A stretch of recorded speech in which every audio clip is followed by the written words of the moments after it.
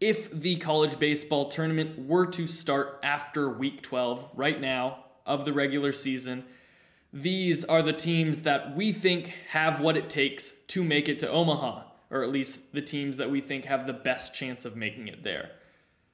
Spoiler alert for, for me, my picks may not have changed at all from last week, but uh, you'll have to see.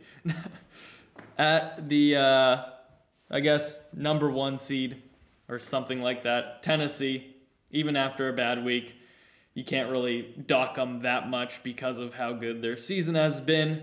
Uh, and one bad weekend isn't uh, a reason to completely change uh, my opinion.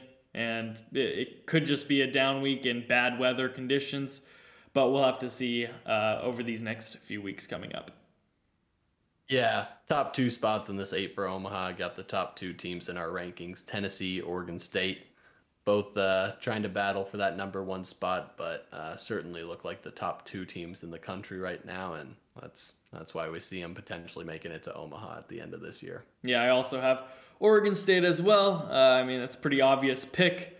Looks like they're one of the hottest teams in the nation, if not the hottest, and uh, shows that if a pitching staff does not walk batters at all, you will always have a good chance to win a game no matter what, even if your batters are doing nothing. Yep. Yeah. Crazy. Crazy how well that pitching staff has done this year. And next up, the other OSU, Oklahoma State for me, showing that they're the class of the Big 12 still and uh, look to be the only team right now in that conference that I am confident can make a deep run in the tournament. Yeah, yep, right behind these top two teams, we have another two teams that are very talented and look like they could vie for one of those top spots at the end of this year, but have just been super consistent this year with Oklahoma State and Arkansas continuing to win series and play well.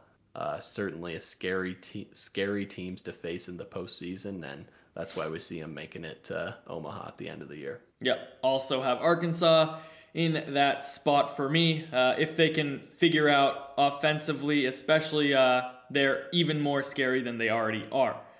And uh, another very consistent team that I decided to put in and keep in from last week is Virginia Tech. They've uh, put together an insane run since mid March. Uh, they haven't lost a series, so they've shown an uh, incredible amount of consistency over that time.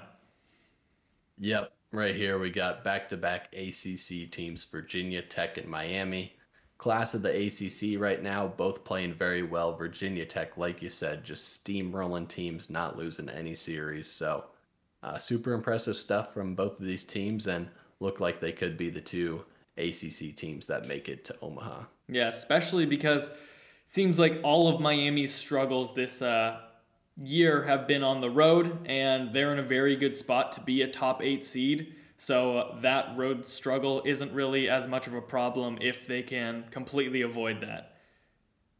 But after that, uh, I have Stanford, the second Pac 12 team, have a very, very potent offense if they can get everything clicking with pretty much everyone in the lineup being able to just crank one out of the yard.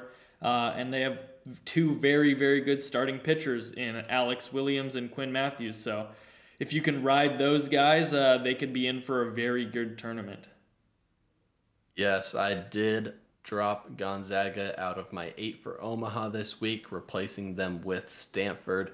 Like you mentioned, back on the right track, got two solid pitchers, and coming into the year, they were top five team in the country because we knew how talented this roster was, and they had the experience. Just made it to Omaha this past year, so uh, when they're back on the upward trends like this, it's easy to see them making it there again.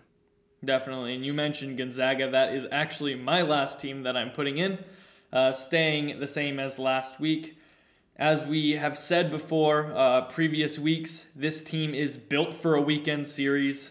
So if they can get past that first week of the postseason, they have a great, great chance of winning a super regional with that pitching staff. Uh, there are several teams that I thought about putting in this spot over Gonzaga, those primarily being Texas A&M and LSU, but since I had Gonzaga in last week and they didn't play any games, so they didn't prove that they didn't deserve to, to have this spot, uh, I'll keep them in unless there is a big shift coming up. Yeah, and the team I already had in last week that I kept the same was Texas A&M. Uh, team Asher was considering, but they've just been hot as of late. Won a series against South Carolina this weekend. Uh, came back from one game. I believe they were down 7-0 at one point. Uh, impressive stuff from them down the stretch right now. We'll see if they're able to close out the year and stay as hot as they are, but certainly looking like a team that is steamrolling and is looking to continue to do so heading into the postseason. Yeah, definitely a team that is dangerous and has been very, very hot recently. So, a team to look out for that could make a deep run from any position that they're in. But uh, yeah, with that, that is the uh, end of our eight for Omaha. All those eight picks didn't miss anybody. If uh, if you think there are other teams that should potentially be in those top eight, just let us know in the comments down below. Thank you for watching and listening. If you enjoyed, we would really appreciate a like and subscribe for more weekly college baseball content.